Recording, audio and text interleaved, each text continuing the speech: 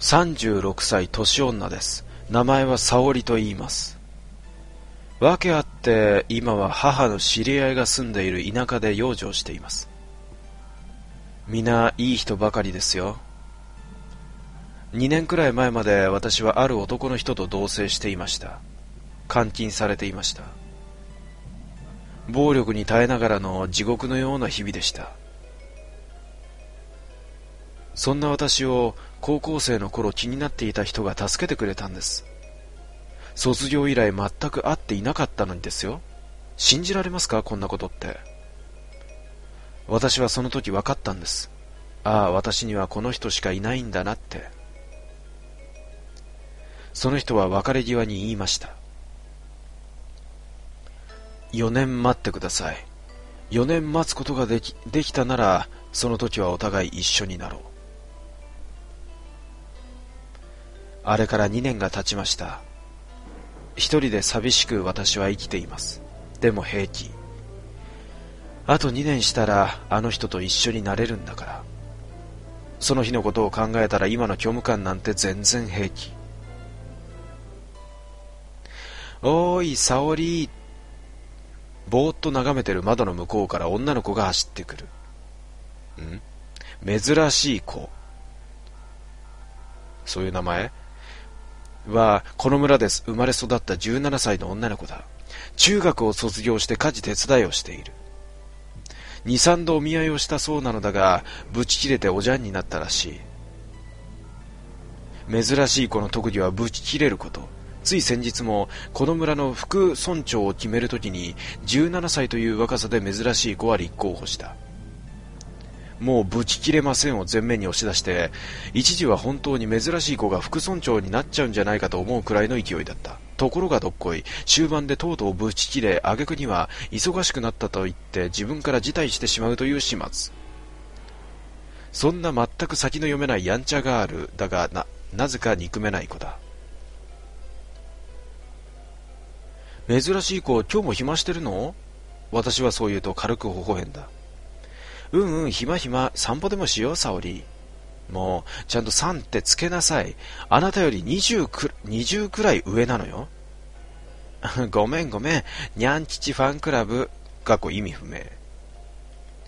私はとりあえず一枚羽織り外へ出た。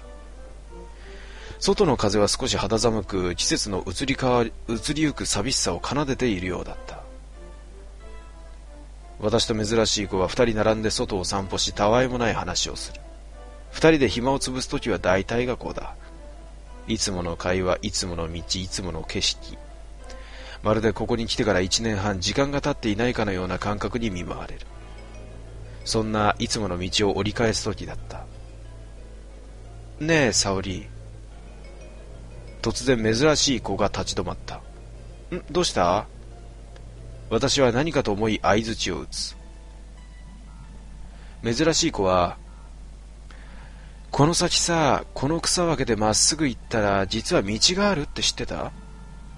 え、そうなの？いや、全然知らなかったよ。見てみる？珍しい子の様子のが何か変だ。何か隠しているのだろうか。でも、私はずっと同じ毎日を繰り返しているから正直たまには変わった道を見てみたいと思った。そうだね。面白そう。見てみたいわ。珍しい子は草を分け私を先導してくれた。しばらく草を分け進むと目の前に本当に道が現れた。わあ本当に道あるんだね。全然今まで気づかなかった。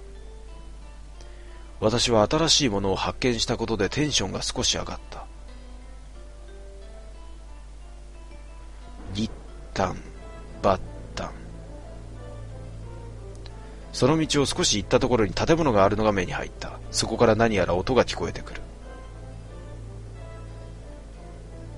珍しい子、あれなんだろう？珍しい子は、あれね、なんか肥料作ってるみたいだで、と言った。ふーん。私と珍しい子は道をまっすぐに進んでいった。途中その建物を横目で見た。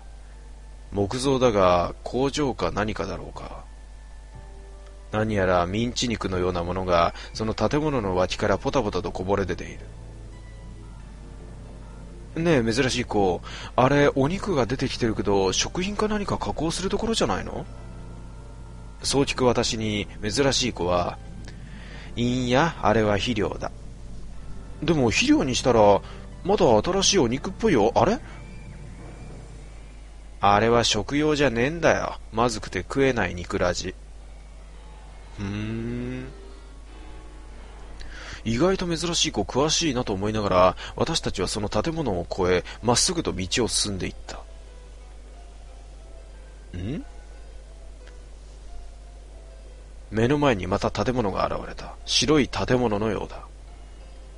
その建物に向かいながら珍しい子が口を開く。ねえ沙織。沙織はいいやつだ。だから今から面白いものを見せてやる。面白いもの？何何？見てからの織田の字味だ。好奇心はもともと旺盛だった私。メリハリのない毎日をここずっと続けていた私は胸がドキドキするこの感覚を忘れていた。そうこうしているうちに私と珍しい子はその白い建物の前に着いた。んなんだこれ？その白い建物の上に表札のようなものがありだるま小屋と書かれていた。午後に今はだるまさんがおるんだ。珍しい子はそう言って私の手を引いてた私の手を引いて建物の中に入った。ドアを開け中に入りドアを閉める。薄暗い廊下のようなところに出た。目の前にはもう一つのドアがあった。その廊下で珍しい子は「沙織お前はもうこの村の仲間だ。仲間だからここを教えた。絶対ここで見たものは誰にも言うんじゃねえぞ。何やら少し嫌な予感はしたのだが私は意を決して奥のドアを開けた。ひー奥の部屋はさらに薄暗い部屋だった。数台のテーブルがあり私たち以外にも数人の人がそれぞれテーブルにまばらに腰掛けて飲み物を飲んでいた。一体何が秘密なんだろう。とりあえず珍しい子にリードされるがまま私たちも空いているテーブルに座る。そこで私はあることに気づく。座っている他の人たちはある一点を見ていた。そしてある者はニダニダと笑いながら飲み物を飲んでいる。珍しい子も同じところを見ていた。私もそれを見た。何やらステージのように前に置かれたテーブルの上にだるまの置物が置いてあるようだった。これのどこがそんなに珍しいの？沙織何か飲むが珍しい子に聞かれたので私はトマトジュースを頼んだ。珍しい子は店員さんを呼び飲み物を頼んでくれた。いやまた元気なくなってきたな。えそう？私は元気だけどそう相づちすると珍しい子はさっきのだるまを指さした。違う違う。あれあれ。え？私はもう一度よくそのだるまを見てみた。どうやらだるまはうごめくように少し動いている。薄暗い部屋の中私は目を凝らしてさらによく見てみた。そしてすぐに目をそらしたあれ人だ。それはだるまの置物なんかじゃなかった。手と足を切断された人だった。苦しそうにそのだるまはうごめいていた。お待たせしました。トマトジュースです。店員さんが持ってきたがあんなもの見ながら飲めねっつうの。だるまの声がうっすらと聞こえてくる苦しい助けてください昔聞いたことのあるような声私は耳を塞いだ。一体何なんだここは。しばらくして私と珍しい子は外に出た。珍しい子が言うには、ここは悪いことをした人間が連れてこられ、見せ物にされる小屋らしい。このだるまの男も殺人や暴行をした男らしく、ここに売られに来たらしい。手足は連れてこられた時からすでになかったらしい。でも、それでも逃げようと元気だったから、昨日客の前で男性器を切り落とされたようで、今日はぐったりしていたとのことだった。帰りの道で珍しい子は、沙織、絶対に誰にもここのこと言っちゃダメだよ。わかってるな。う、うん、っていうか言えない。そう言ってもな、たまに言おうとする人がおるんよ。困ったような顔で珍しい子はそう言うと例のミンチ肉の建物を指さしてまあ沙織も肥料になりたくなかったらここのことは胸にしまっとけ。